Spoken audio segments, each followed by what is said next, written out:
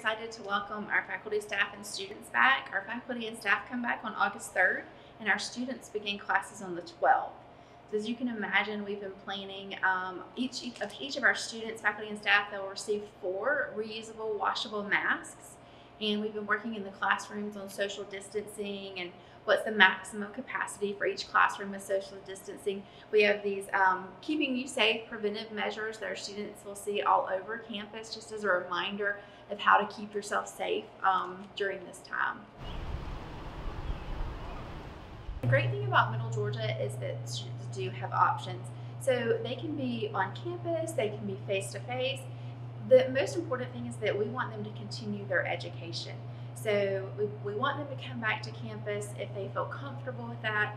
But if they want to be online, they can be online. We have been extremely conscientious about the feelings of our students, our faculty and staff.